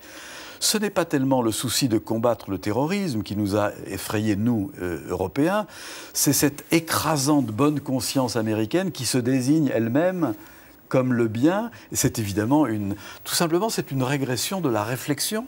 C'est un archaïsme. Vous savez, le manichéisme a été, c'est une, c'est une hérésie qui, a- qui est née de- au deuxième siècle de notre ère et sur lequel on a euh, Alors, réfléchi ce qui est euh, pendant des siècles. Ce qui est intéressant dans, dans votre, dans votre essai, c'est que vous nous redonnez le goût de l'histoire. J'ai une question accessoire à vous poser sur votre méthode de travail. C'est-à-dire que quand on vous a lu, finalement, on peut euh, avoir l'impression que euh, toutes les idées importantes euh, des 20 derniers siècles sont, d'une manière ou d'une autre, abordées. Quelle est votre méthode de travail? Comment est-ce que vous réussissez Moi, à je- engranger à ce point euh, Je vais vous dire la vérité, il y a deux personnes à qui je dois tout. euh, et deux grandes conversations que j'ai eues il y a 20 ans, vous voyez, mais que je continue à avoir avec eux. C'est Michel Serres et Edgar Morin, qui sont devenus des proches, des amis, et qu'à l'époque, je, je lisais de loin en les admirant. Et je me souviens d'ailleurs, c'est Michel Serres qui, le premier, à un colloque auquel nous assistions en Californie, en 82, je crois, m'a dit Jean-Claude, toi qui viens du journalisme, parce qu'à l'époque j'étais immergé dans les sciences humaines en tant que directeur littéraire du Seuil, il m'a dit tu as un travail à faire pour nous, si tu le veux bien, pour les 20 ou, ou les 15 ans qui viennent. Si tu acceptes de travailler suffisamment, tu vas être notre agent de liaison. C'est-à-dire tu vas être le messager entre les différentes disciplines que nous représentons et qui ont tendance à se parcelliser, c'est-à-dire chacun a tendance à réfléchir dans son coin. Le philosophe, l'anthropologue. mais c'est quand même compli- enfin, c'est compliqué puisque vous êtes, vous êtes euh, pluridisciplinaire. Oui, mais vous, justement- reli- vous reliez les connaissances. Voilà, Pour dire la complexité, hein, Edgar Morin. bon. Edgar Morin, m'a, pendant des années, m'a répété la même chose. Il m'a dit Jean-Claude, il faut que tu nous aides à lutter contre la parcellisation du savoir. Il faut qu'il y ait des gens qui fassent communiquer entre elles les différentes Alors, disciplines. ce que vous faites comme Donc je ne fais qu'obéir au fond à ce cette que vous injonction. faites co- comme essayiste. Donc, euh, euh, avant de parler de votre équilibrisme, hein, pour Oui. retrouver le goût de la, du, renouveau démocratique, euh, vous parlez notamment de l'économisme que vous dénoncez euh, évidemment. Vous dites par exemple ceci le premier effet de l'économisme devenu pensée dominante tient à la priorité absolue qu'il donne au quantitatif. Depuis quelques années, notre imaginaire social est ainsi colonisé par les chiffres, c'est-à-dire les quantités. On n'éprouve plus vraiment la valeur d'une vie ou d'une situation, on la mesure, on compte. Oui, bien sûr. Et l'humain n'existe plus. Mais bien sûr, mais si vous voulez, au fond, ce, qui arrive à l'économie arrive à toutes les autres disciplines. À partir du moment où le savoir devient partiel, il devient obsessionnel et réducteur. Je cite, je ne sais plus de qui est cette belle phrase que je cite. euh, quand on a la cervelle en forme de marteau, on a tendance à voir des clous partout. Vous voyez ce que je veux dire? C'est-à-dire qu'il y a une- il y, a une sorte de tendance rédu- Nietzsche, non réductrice, non, c'est pas Nietzsche, réductrice de la pensée, qui fait que si vous discutez avec un économiste, il vous dira que tous les problèmes importants sont économiques, mais il n'aura pas d'ouverture sur les disciplines voisines, qui sont l'anthropologie, la sociologie, la, la théologie, et qu'au fond, il y a une espèce de tribalisation de la pensée. C'est ce que Edgar Morin appelle la parcellisation du savoir. Cette tribalisation de la pensée, c'est une espèce de communautarisation qui touche les idées elles-mêmes. Mais à partir du moment où la pensée est fragmentée, alors vous ne pouvez plus avoir, avoir de mise en perspective du monde. C'est-à-dire que Vous m'avez toujours pas dit comment vous travaillez. hein. Bah, je travaille, vous savez, comme tout le monde, je lis énormément, je me fais des grands programmes de lecture, euh, parce qu'en effet, je peux être amené sur une question précise en fonction d'un livre que j'écris à, passer six mois à faire de l'anthropologie, donc à lire des textes fondamentaux. Je prends beaucoup de notes tous les soirs. Je, savez, je fais, j'ai pas des méthodes de travail très originales, non. Ça, euh, si, disons que j'ai gardé du journalisme ce souci, qui est d'ailleurs très difficile à assumer, c'est c'est l'inquiétude de trouver toujours la juste mesure entre trop de complexité qui rendrait le texte peu lisible et trop de simplification qui le rendrait faux. Autrement dit, il faut mon chemin de crête sur lequel j'essaie de cheminer, c'est euh, ce, ce juste milieu entre trop de complexité fouillée et, trop de simplification. Votre ambition, c'est de redonner du sens euh, sur le chemin de crête, on va y venir dans une seconde, dans une société qui doute, qui érige le doute en quasi-idéologie, avec un politique qui est plutôt impuissant. Et à ce propos, je vous, propose de regarder un extrait du journal de 20h de France 2. Le 13 septembre 1999, Claude Sérillon reçoit Lionel Jospin. Je ne crois pas qu'on puisse euh, administrer désormais l'économie. Je pense qu'il faut respecter la loi, je pense qu'il faut mobiliser un rapport de force. Le MEDEF se mobilise, j'entends dire, sur les 35 heures, et bien que d'autres se mobilisent, je pense que c'est une bonne chose. Et quant à l'État, lui, il doit dire qu'on peut faire autrement, mais c'est pas par la loi, c'est pas par des textes, c'est pas par l'administration qu'on va réguler l'économie aujourd'hui, même si l'économie a besoin d'être régulée.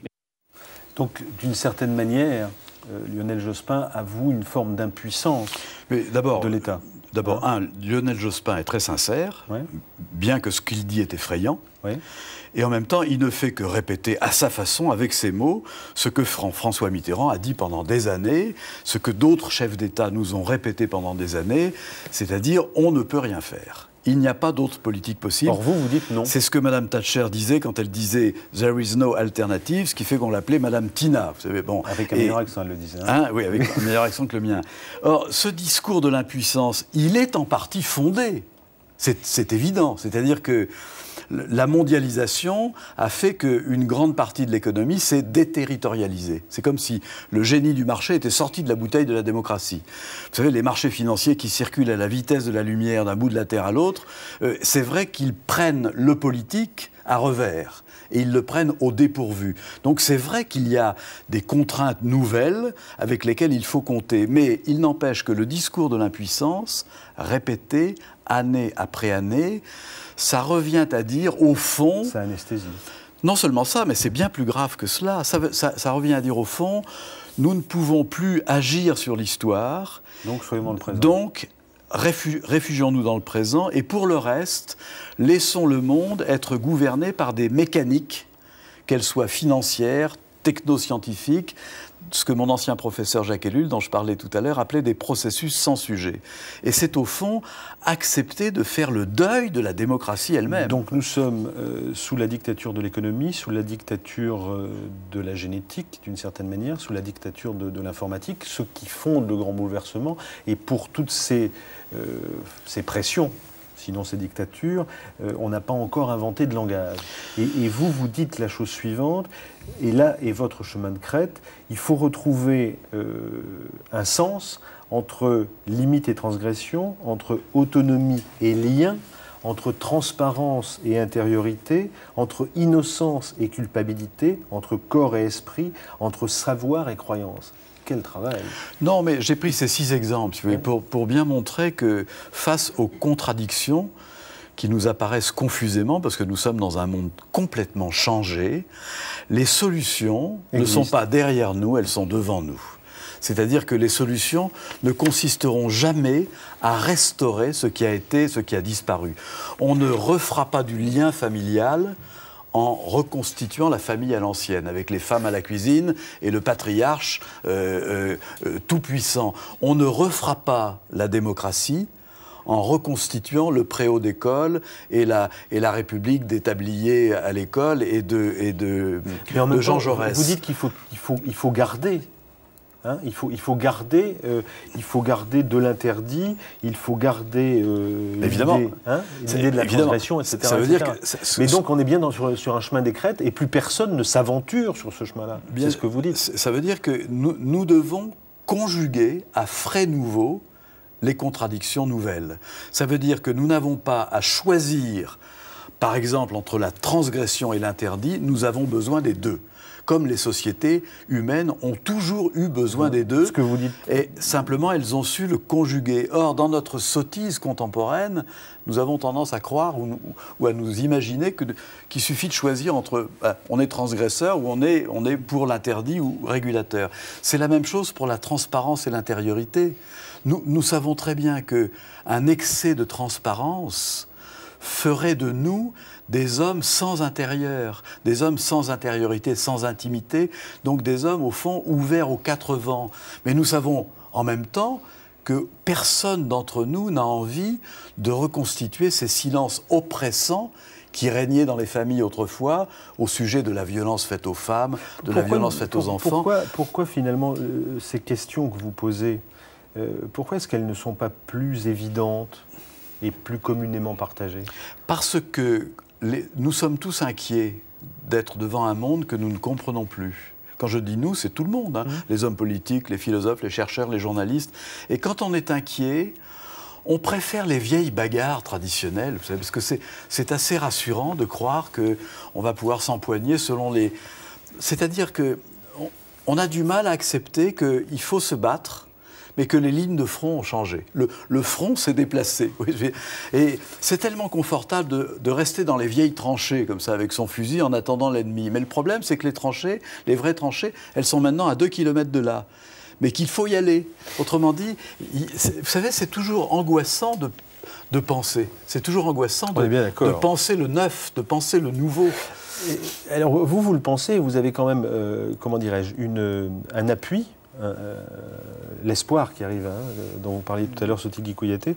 Euh, il y a Prigogine, euh, en 1996, dans un bouillon de culture, parlait à pivot notamment de... Alors je, je parle de Prigogine parce que c'est l'une de vos références, hein, Oui, de la juxtaposition possible entre Dieu et la science. L'une de vos réponses, c'est aussi l'acceptation du retour de Dieu, mais revisité d'une certaine manière. Je dirais même, je suis d'accord avec vous, mais j'élargirai le propos. C'est-à-dire, je, je- pense qu'il faut que nous comprenions qu'il n'y a pas opposition de principe entre savoir et croyance. Et quand je dis croyance, je ne parle pas seulement des croyances religieuses, mais des croyances politiques aussi. Pour être démocrate, pour être citoyen, il faut avoir des convictions. Or, aujourd'hui, nous avons tendance, au fond, à désigner le savoir comme la chose sérieuse, hein, et la croyance comme une espèce d'archaïsme un peu folklorique, un peu ringard, sans comprendre que ce n'est pas comme ça que les choses se passent. D'abord, il y a des, des faux savoirs qui sont des croyances déguisées. Par exemple, est-ce que vous croyez que la bourse, c'est un lieu de savoir? Non, c'est un lieu de croyance. Ah bon? C'est même un lieu de superstition. Ah bon Je ne sais pas si beaucoup de téléspectateurs savent que, par Le exemple... gris-gris du CAC, du CAC 40. Est-ce que vous ne savez pas que l'un des facteurs qui influence le plus la bourse de Tokyo, dont vous entendez parler tous les matins sur France Inter, c'est l'horoscope chinois c'est l'horoscope chinois qui est l'un des plus puissants euh, facteurs qui influencent la bourse de Tokyo. Donc ça veut dire qu'il y a des croyances qui sont déguisées en savoir, et puis en outre, il y a une complémentarité nécessaire. J'aime bien Edgar Morin parce qu'il emploie l'expression, il y, a, il y a un rapport dialogique, de dialogue entre savoir et croyance. Il n'y a pas opposition frontale. Vous, vous êtes passionnant euh, là et, et- et dans votre livre. euh, Alors, euh, je trouve qu'il a, il a une- une- vraiment une, une vertu pédagogique puisque on peut réapprendre euh, par l'histoire euh, des idées que, que vous balayez, finalement à interroger l'aujourd'hui pour demain. Et puis vous a- il y a un côté griot chez vous. Et avant de demander à ce Tigui Kouyaté ce qu'il a entendu, ce que vous avez dit, euh, je, je voulais citer la page, euh, parce que votre propos euh, tient en 360 pages quand même. La dernière page. Et, et je voulais citer un petit bout de la dernière page. Ça, c'est votre côté joyeux. Et, et, euh, C'est un passage qui s'appelle Deuxième message personnel. Deuxième message personnel, bon, qui, est, qui est à part, mais et, et qui, est, enfin, qui est agréable à lire parce qu'il donne envie. hein. Euh, la joie véritable, celle que nous avons perdue, c'est celle de l'aube, des printemps, du lilas, des projets. Elle se caractérise par une impatience du lendemain, par des rêves de fondation, par des curiosités ou des colères véritables, celle qui engage. Le Deutéronome des Juifs y fait allusion lorsqu'il évoque la terre promise, avec ses villes que l'on n'a pas encore construites, ses maisons que l'on n'a pas remplies, ses puits que l'on n'a pas creusés, ses vignes et ses oliviers que l'on n'a pas encore plantés. La joie qui nous manque est celle qu'évoquait Bernanos lorsqu'il parlait de l'espérance violente des matins. Elle est à l'opposé exact de ce que nous vivons couramment. Nos boulimies, nos excès, nos frénésies affectées trahissent paradoxalement notre inappétence. Voilà, ça c'est Jean-Claude Guibaud, euh, né en... euh, né en euh, qui a- 1944. Voilà, qui a 59 ans. C'est le Jean-Claude Guibaud euh, qui, euh, qui est sage et, et joyeux. Qu'avez-vous entendu de ce qu'il a dit?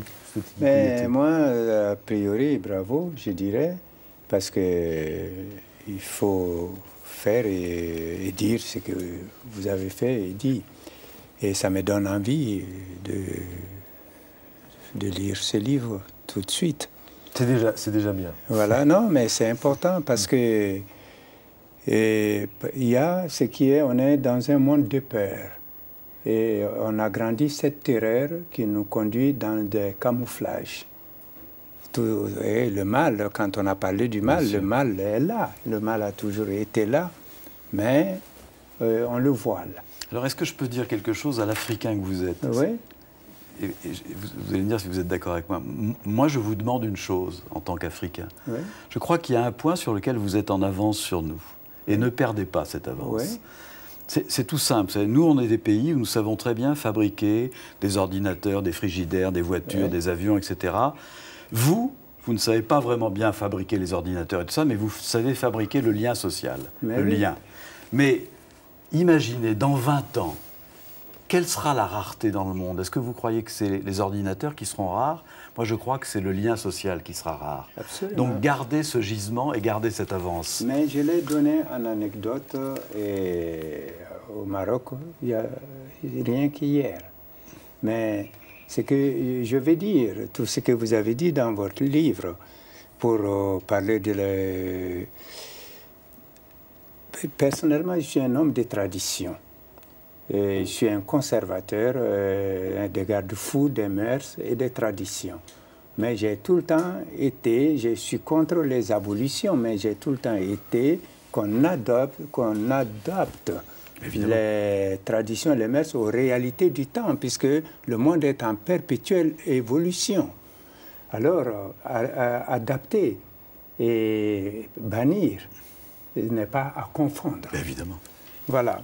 Et, et même parce que je suis quelqu'un qui travaille dans le théâtre, pour parler de l'intérieur et de l'extérieur, je prendrai le cas de deux grands metteurs euh, en scène euh, du début du siècle dernier, sans lesquels d'ailleurs le théâtre euh, ne serait pas aujourd'hui ce qu'il est. Hein, je parlerai tout simplement de Stanislavski d'une part et de l'autre Meyerhold, qui avaient été de très grands coopérants, ensuite euh, divisés. Bah, parce que l'un défendant que la, la- la vérité, et bien qu'en Afrique, chez nous, on dit il y a trois vérités, ta vérité, ma vérité et La la, vérité. vérité. Mais là, l'un, pour dire euh, la vérité du théâtre, pour trouver les, les véritables sentiments, il faut le chercher de l'intérieur pour l'amener à la surface. Et bon, lorsqu'ils sont euh, arrivés à cette session, et Meyerhold, lui, qui a créé ces exercices biomécaniques, il faut passer par l'extérieur L'extérieur. pour atteindre l'intérieur. Et la lutte a été longue, mais ce qui est extraordinaire, et ils sont devenus presque des ennemis. Mais quand euh, Stanislavski est arrivé à la fin de sa vie, cherchant un héritier pour son théâtre, Il a dit c'est meilleur. euh, c'est Meyerhold, son état-major, demande mais pourquoi lui? Il dit le théâtre a besoin de lui. Et Meyerhold a appelé. Lui aussi il n'a pas dit non, je, je ne l'approuve pas, il est venu prendre. Griot, dire, oui. toujours Griot. hein. Voilà, donc euh, ça veut dire c'est une connexion des deux. Bien sûr. Et tout le travail est là, et ce travail est à faire, et c'est devant, c'est pas derrière. On va écouter Roland Osé, compositeur, interprète, percussionniste. Il a, dans la tête l'idée de sensibiliser euh, le public sur les musiques d'aujourd'hui. Euh, il va se produire notamment au Festival des créations sonores. Aujourd'hui Musique, ça s'appelle, c'est le titre de, ce festival, qui se tiendra à Perpignan jusqu'au 25 novembre 2003. Il nous interprète ce soir un extrait d'une pièce de Xenakis. Fafa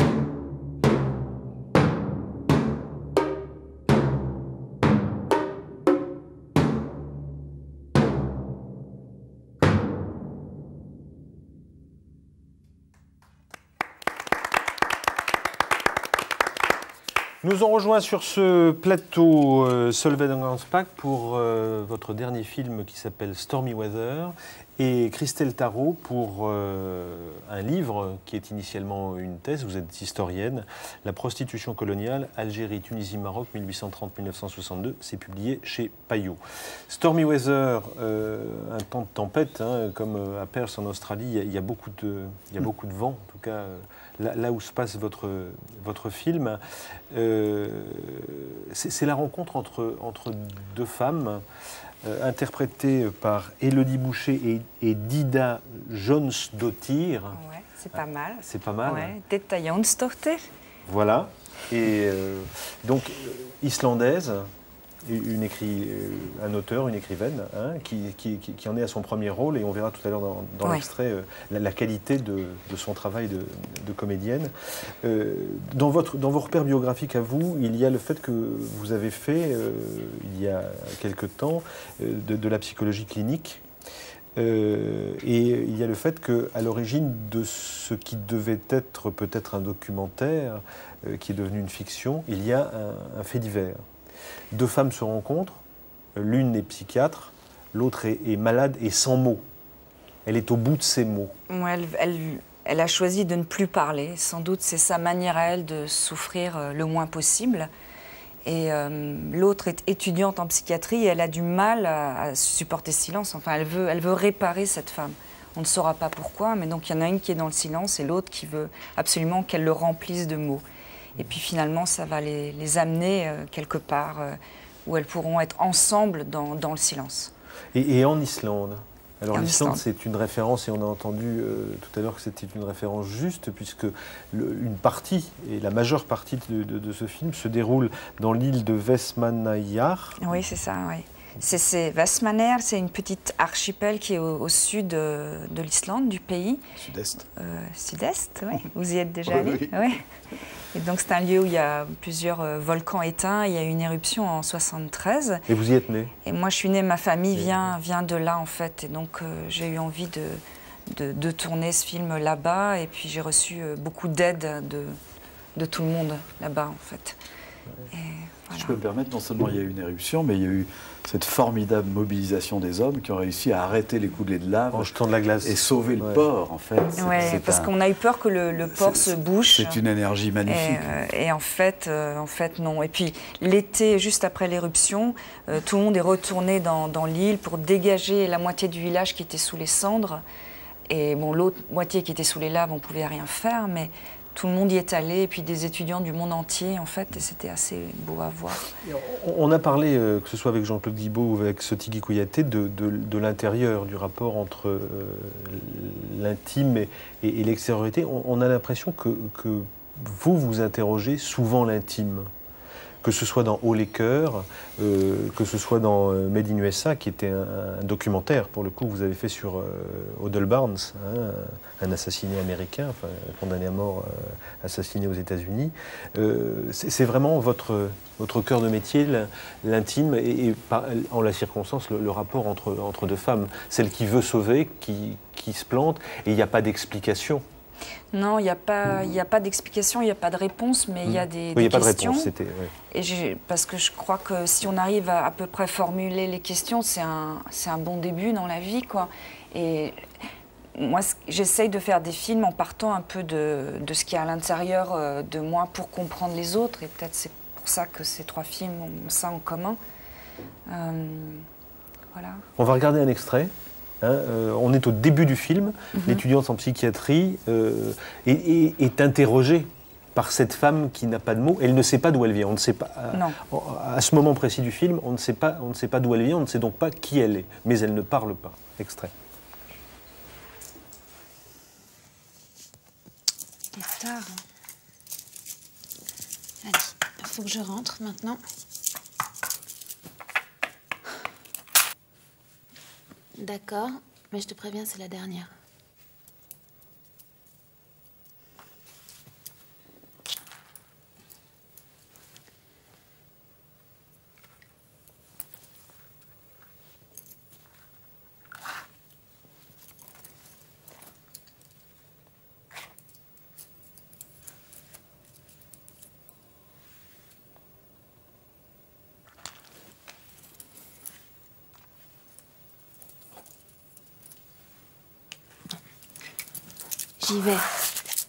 Je dois vraiment rentrer maintenant.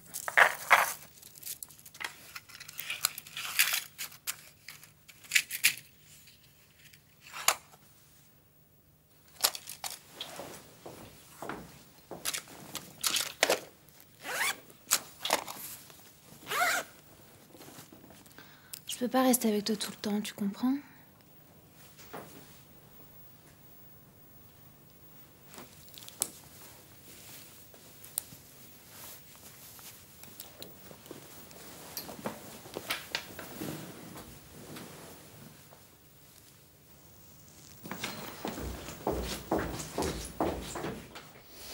Cette femme qui est, hospitalisée en, psychiatrie finira par retrouver son pays, pas ses mots, euh, qui est, euh. Euh, L'étudiante en psychiatrie va partir pour l'Islande euh, pour essayer finalement de, continuer à réparer cette femme. Est-ce que de votre point de vue, et il n'y a pas de réponse, comme vous l'avez dit tout à l'heure, est-ce que de votre point de vue, il y a un fantasme de la réparation du monde ou de la réparation de l'autre?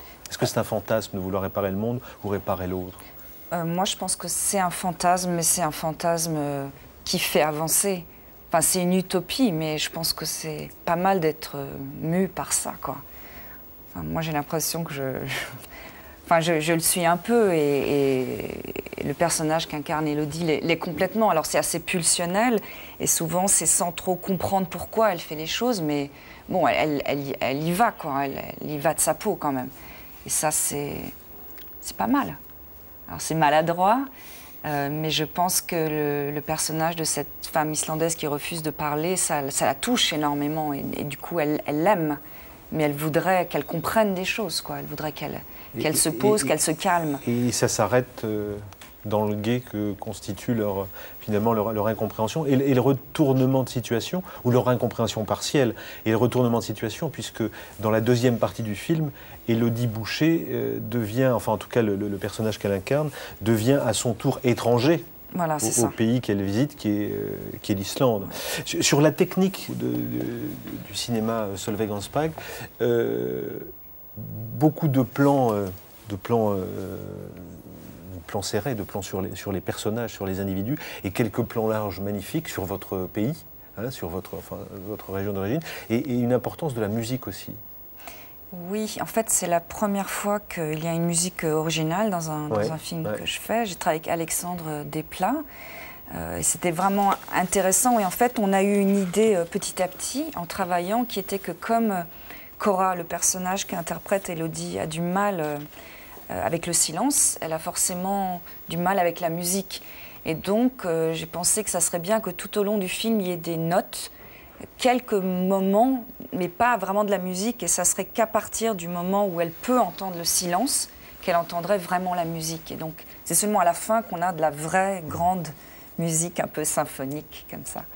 Quand elle s'en va. Quand elle s'en va, et elle va peut-être enfin devenir une bonne thérapeute maintenant qu'elle a traversé ça. Une, toute- oui, elle a, fait, le deuil de quelque chose. Ouais, de la toute-puissance. La toute puissance. Hein.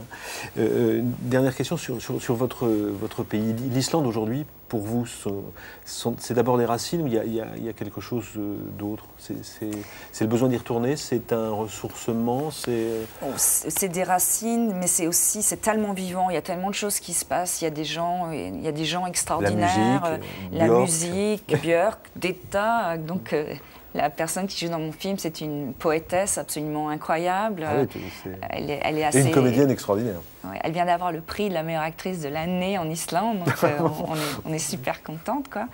Et non, il y a tellement de choses qui se passent, c'est bouillonnant, un peu comme, comme la nature, les éléments, euh, les sources chaudes. Enfin, moi j'ai besoin d'y aller tout le temps et je vais y retourner là dans, dans 10 jours. euh, donc je suis contente. Stormy Weather, euh, bah, c'est sur les écrans, un film que qu'on vous conseille ici à, à des mots de minuit. Euh, Christelle Tarot, euh, vous faites euh, un travail d'historienne en, allant interroger l'histoire sur la prostitution coloniale, Algérie, Tunisie, Maroc, 1830-1962. C'est publié chez Payot. Pourquoi avoir choisi ce sujet de thèse initialement? Pour deux raisons. Pour une envie de travailler d'abord sur les femmes, parce que l'histoire des femmes en France, bien qu'elle ait commencé dans les années 70, est quand même assez en retard. Et ensuite, euh, pour coupler ce, désir de travailler sur les femmes avec un désir de travailler sur la Méditerranée, parce que la Méditerranée est en face de nous, je m'en sens proche, euh, j'ai des racines là-bas très fortes. Et je voudrais euh, que mon travail permette de, de nous câbler, c'est un mot à la mode, de nous câbler un peu mieux des deux côtés et que, au-delà de l'histoire de- de- des antagonismes qui est fait depuis, les indépendances, de faire une histoire de, de la Réunion. Peut-être euh, il est temps de faire une histoire de la Réunion et de le faire à partir de questions qui sont très douloureuses, qui sont très douloureuses en une. France, mais qui sont peut-être encore plus douloureuses, je dirais, là-bas, au Maghreb. Alors, euh, euh, dans le titre, Algérie, Tunisie, Maroc, 1830-1962, euh, mais il n'y a pas eu Marthe Richard en 1946 Si, il y a eu Marthe Richard en 1946, mais la loi qui interdisait les maisons closes. hein. qui fermait Ouais. euh, les maisons closes, mais elle ne s'appliquait qu'à la France métropolitaine. Elle n'a pas, n'a pas été appliquée dans les colonies et protectorats français. Ce qui fait que de 46 à 62 pour, pour l'Algérie, on a continué à, à pouvoir euh, accéder non seulement aux maisons de tolérance, mais aux quartiers réservés et aussi aux fameux BMC, aux bordels militaires de campagne, qui n'étaient pas gérés par les administrations municipales ou étatiques, mais directement par les militaires. Je vais m'arrêter sur, euh, sur deux ou trois euh, propos de votre livre. Euh, avant la colonisation, euh, vous écrivez euh, ceci, vous parlez de l'esclavage, d'une sexualité tarifée au-dessus de tout soupçon, et vous dites, euh, théoriquement scindé entre l'épouse censée assurer la pureté de la lignée et la concubine, supposée garantir le plaisir sexuel et dont on peut user à sa guise quand on veut et où que cela soit comme pour la nourriture et les vêtements, la sexualité nord-africaine précoloniale ne peut se concevoir sans l'intercession de l'esclave. Limité à quatre épouses légitimes, le maghrébin musulman peut en effet multiplier sans risque et sans restriction, sauf pécuniaire, le nombre de ses esclaves, concubines et domestiques. Cette multiplicité et cette interchangeabilité lui octroient de fait à l'intérieur d'un lieu spécifique d'exercice, le harem, une certaine permissivité en termes de combinaison sexuelle qui rend dérisoire, au moins dans les classes les plus aisées des sociétés maghrébines, le recours à une prostitution exclusivement mercantile de type colonial. Donc avant la colonisation, la prostitution existait pas ou peu, ou en tout cas pas de manière tarifée, elle existera après, mais en même temps la condition de la femme est, est douloureuse. Ah bah bien sûr, soulignez, hein, bon. bien sûr, mais y compris pendant et y compris après. Enfin, il ne s'agit pas de, de, de mal- de- de- de faire porter à la colonisation tous les maux euh, du Maghreb. Euh, S'il avait suffi d'éradiquer la prostitution pour changer la condition des femmes en- au Maghreb, ça se serait. Donc, euh, non, mais ce que je veux dire par là, c'est qu'avant la colonisation, il y a d'autres modes de régulation de la sexualité masculine. En l'occurrence, la sexualité est régulée de manière licite Hmm. dans les, dans les sociétés. Par l'esclavage, par la courtisanerie traditionnelle, par les almées, par les danseuses, les chirates euh, Les au Almées sont des danseuses. euh, Non, les almées, ce sont des, courtisanes de, de Ouais. haut rang. Almée, c'est- construit sur l'arabe alm, qui veut dire savoir. Donc ce sont les courtisanes érudites euh, qui, qui reçoivent chez elles, dans un luxe, euh, dans une profusion de, de- de belles choses, de beaux tapis. De, Paradoxalement, et pour être provocateur, il y a du lien social. Enfin, c'est, euh, cette sexualité qui est extrêmement douloureuse pour les femmes euh, est inscrite dans la société. Or, la colonisation va la, va la déstructurer d'une certaine manière. comme elle déstructure les sociétés euh, traditionnelles, par, euh, par l'expropriation, par le code de l'indigénat, par, euh, par la mise au pas des, des Aouïas, de, de l'islam populaire. Et là, vous, vous dites par rapport à la prostitution que la colonisation fait la marginalité. C'est-à-dire que là où la prostitution était quelque chose d'intégré ou de toléré ou d'organisé, enfin, les prostituées deviennent euh, bon, des, euh, des, des exclus. Oui. Avant, c'était régulé socialement. Il y avait des codes, c'était subtil, c'était invisible. On savait que ça existait, mais c'était compartimenté. Il y avait les esclaves d'un côté, les courtisanes de l'autre, et il y avait une prostitution qui existait déjà avec des prestations sexuelles tarifées, mais qui était très marginale, Mmh. parce que les autres modes de régulation invisibilisaient ce mode-ci. Donc euh, la colonisation, qu'est-ce qu'elle fait? Elle met toutes ces femmes sur le même plan et décide qu'il n'y aura plus qu'une seule catégorie de femmes de mauvaises mœurs. Euh, ce sont les, les filles soumises à la réglementation. Or, la réglementation est extrêmement répressive, concentrationnaire, elle est ségrégée euh, racialement, elle instaure des quartiers réservés pour les femmes indigènes et elle conserve le régime classique de la tolérance pour les européennes, puisqu'il y a beaucoup de prostituées européennes aussi qui arrivent dans les, valises des colons. Et, et, donc elle est effectivement euh, très violente, notamment pour les sociétés locales qui tout d'un coup sont confrontées à la visibilité des pratiques sexuelles illicites.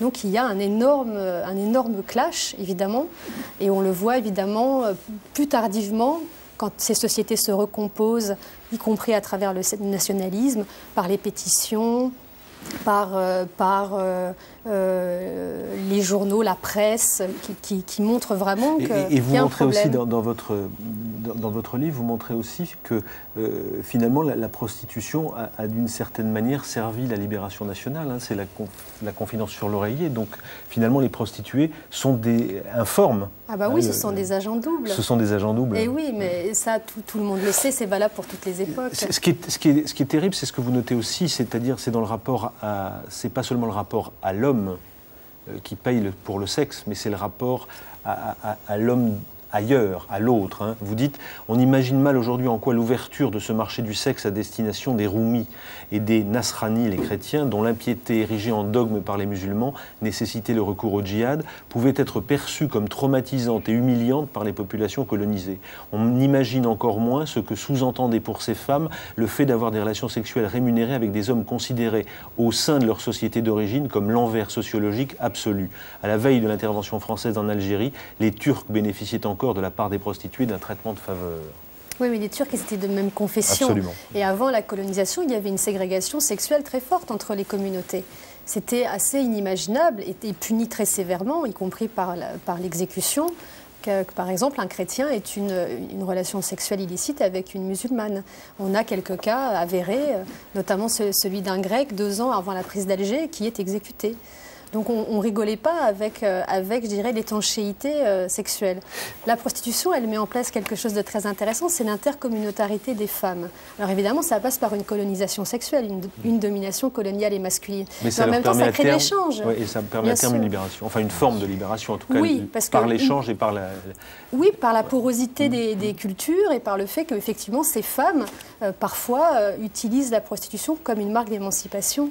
Alors évidemment, il faudrait expliquer ça beaucoup plus... euh, Deux, questions encore. Euh, la première sur le, sur le tatouage. Et et vous avez un long, euh, un long développement sur, euh, sur les tatouages que, que portaient les prostituées. Est-ce que vous pouvez nous en dire un, un tout petit mot? Pourquoi Ben- ça se faisait? Comment ça se faisait? Alors, avant l'entrée dans la prostitution, les tatouages sont, euh, au même titre que les scarifications, sont des marques d'appartenance. Alors, en Afrique du Nord, il y a euh, des tatouages qui sont plutôt spécifiques aux régions berbères ou, spécifiques aux régions arabes. Et ensuite, donc ça, ça marque l'appartenance, dirais, euh, tribale, l'appartenance ethnique, éventuellement un statut. Euh, Les femmes mariées ou les célibataires ou, les veuves peuvent avoir des tatouages différents. Et puis ensuite, il y a, le, je dirais, le tatouage prostitutionnel, qui peut être très différent selon l'origine du tatoueur. Si c'est euh, en milieu marocain et que c'est un Algérien, il peut apporter des tatouages différents. Et quand c'est un Européen, Bon, bah, les tatouages sont évidemment en général beaucoup moins beaux que les tatouages traditionnels et ce sont des tatouages d'inscription euh, et qui marquent aussi une domination des hommes sur les femmes, notamment quand ce sont des tatouages faits par les militaires sur les prostituées. Je voulais signaler aussi votre, votre travail euh, chez Albin Michel, Moresque, Femmes orientales dans la photographie coloniale 1860-1910, texte de Christelle Tarot, photographie des collections Roger Violet. Vous avez une phrase dans, cette, euh, dans ce livre euh, qui, qui m'a arrêté. Les femmes qui habitent ce livre apparaissent comme les rescapées d'un naufrage, dites-vous. Oui, parce qu'elles sont les témoins d'un monde qui, n'existe plus et qui a fasciné notamment les photographes de cette époque. Ces photos sont très paradoxales parce qu'on est dans une période où la poudre, euh, la poudre fonctionne à plein, où la pacification est très difficile dans les années 1830-1890. Euh, où d'ailleurs je, je- je suis sûre que le Maghreb n'a jamais été vraiment pacifié par les Français. Il y a toujours eu des révoltes, la- la- notamment la guerre du Rif dans Tant les mieux. années 20, et puis ensuite la guerre d'Algérie. Mais depuis le début, depuis la conquête, ça a toujours été très très très difficile pour les Français de vraiment s'implanter. Et, et ces photos montrent tout le contraire. Elles montrent la fascination, la beauté des femmes, euh, le dépaysement, la recherche de l'altérité féminine. Et, évidemment, elles sont dans la grande vague orientaliste, euh, qui a des côtés positifs, c'est-à-dire euh, ce n'est pas seulement une manipulation de l'image de l'autre, c'est aussi une fascination de l'autre. Et évidemment, quand on est d'un côté de la Méditerranée, on ne peut être que fasciné de ce qui se passe de l'autre côté. Et c'est pareil dans les deux sens. Et, je reviens donc à mon idée de départ que euh, cette, cette, réciproque fascination ne doit pas nous faire oublier ce qui nous a séparés, mais ne doit pas nous faire oublier non plus ce qui nous réunit. Et ce qui nous réunit est très fort. Des, des propos euh, auxquels vous devez être sensible, Jean-Claude Guibault puisque... Si je peux ajouter une, une phrase, c'est évidemment euh, assez passionnant, mais pour, pour, pour amplifier ce que vous dites, je pense qu'il ne faudrait pas qu'on oublie que la France qui conquiert le Maghreb, c'est-à-dire en fait la France de la monarchie de Juillet ou du Second Empire, c'est une France pudibonde, c'est une France puritaine et qui projette sur la femme du Maghreb ou sur la femme africaine, fantasme. qui projette ses fantasmes sexuels. Absolument. Autrement dit, il, y a, je, il, se trouve que je me suis assez intéressé à, aux, aux, cartes postales de cette époque, du début du siècle. Il y a tout un imaginaire sexuel qui, au fond, s'exprime à travers la femme colonisée euh, par compensation à la, à la, pudibonderie de la métropole, si j'ose dire. Il y, a, il y a une espèce de transfert.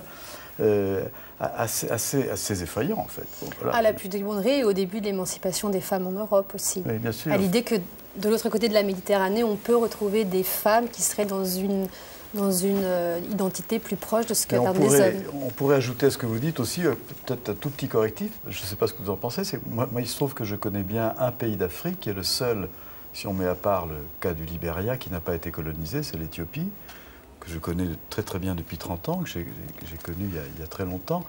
Or, l'Éthiopie, on, on, sait de sources sûres que depuis le 15e ou 16e siècle, il y a une prostitution reconnue, organisée à l'échelle de chaque petite ville, de chaque village, etc., mais qui, à la différence de la prostitution chez nous, est intégrée socialement et n'emporte pas de jugement de valeur défavorable ou de jugement de valeur négatif sur les prostituées. Mais en tout cas, l'Éthiopie a toujours été, bien qu'il n'ait jamais été colonisé, a toujours été un pays de grande prostitution. Merci Christelle Tarot, merci euh, pour euh, votre film Solveig Gansbach, je rappelle le titre euh, Stormy Weather.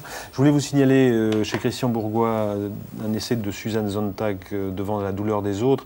Elle avait, écrit, donc c'était il y a 25 ans, sur la photographie et donc elle, posait la question de savoir comment la photographie nous faisait réagir par rapport à, l'horreur, l'horreur de la guerre notamment. Est-ce que ça nous rend apathique ou est-ce que ça nous fait réagir? Aujourd'hui, elle, elle, poursuit sa réflexion et ça va notamment jusqu'au 11 septembre. Hein, 2003. Donc euh, c'est un essai qui, qui, nous interroge sur notre façon de comprendre comment nous voyons euh, l'horreur par l'imagerie, par, euh, par, la photographie. Je voulais vous signaler également Parole de Griot, présentée par l'écrivain Amano Kuruma, avec des sculptures d'Osman So. C'est dans les carnets de la sagesse chez, chez Michel. Voilà, ça, ça, ça, vous concerne, ce Tigui Kouyaté. Et puis, euh, on l'a reçu tout à l'heure, euh, 1866-1914, Aventurier du monde, les grands explorateurs français, autant des premiers photographes. C'est publié chez l'Iconoclaste. Euh, ce sont 20 expéditions de légendes racontées. Euh, pourquoi je m'arrête sur ce livre? Parce que ces, ces, 20 expéditions de légendes sont racontées par Jean Lacouture, Jean-Christophe Ruffin, Jean-Claude Guibault, Amadou Kourouma, Kenneth White, Louis Gardel, Isabelle Autissier, avec une préface du ministre des Affaires étrangères, Dominique de Villepin, aventurier du monde, avec l'iconographie euh, sortie des archives du Quai d'Orsay. On se quitte avec Paul Personne, deuxième titre euh, de son album Demain il fera beau, euh, Le diable en hiver. Musique.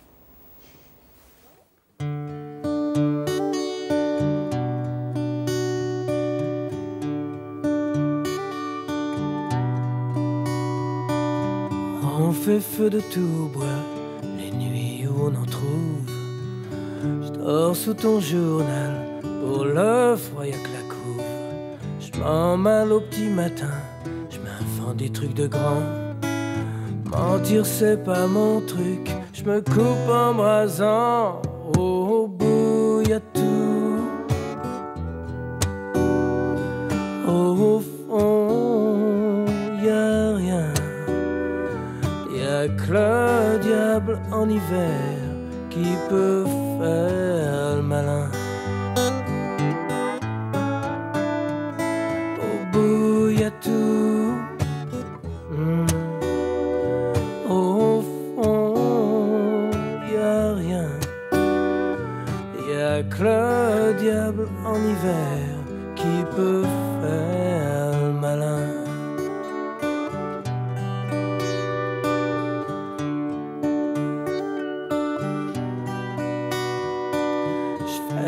cher mot du stop à l'avenir. Vous qui sortez couverts, une petite pièce messire. Je retrouve mes associés dans la hutte en carton. La pluie sur le pavé, c'est férié, on se fait le pont. Au bout, y a tout. Au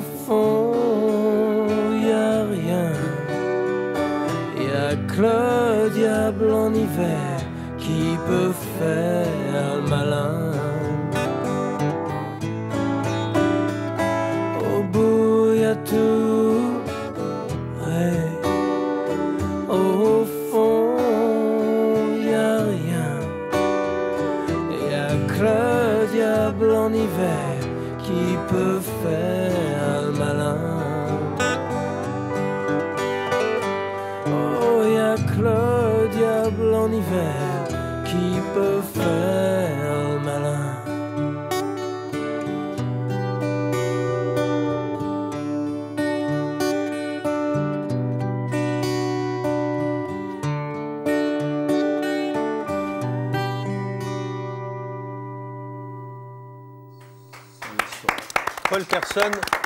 diable en hiver.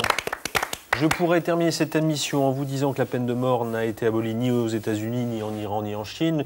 Pour la terminer en, vous disant qu'il y a actuellement dans les prisons françaises un peu plus de 57 500 détenus pour seulement un peu plus de 49 200 places. Je préférerais euh, terminer avec les, avec les mots de Jean-Claude Guilbeault et ceux de, de Sotigui Kouyaté. Jean-Claude Guilbeault, quand il écrit, il devient ainsi tout simplement logique de se réjouir que l'autre existe, ou Sotigui Kouyeté quand euh, il dit retrouve-toi, retrouve-toi dans les yeux de l'autre au lieu de t'y perdre, et quand tu regardes bien, tu peux même t'y voir. Bonsoir, bonne nuit.